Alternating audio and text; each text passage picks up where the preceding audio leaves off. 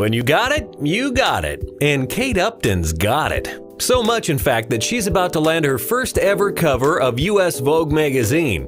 The sultry model has already appeared on the covers of the British and Italian versions of the magazine, not to mention two Sports Illustrated swimsuit issues two years in a row.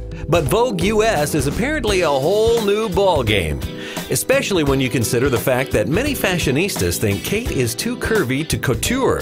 Official details of Kate's cover have yet to be revealed, and a spokesperson for the mag says they do not comment on upcoming covers. Safe Bet says it'll be breathtaking and will fly off the shelves.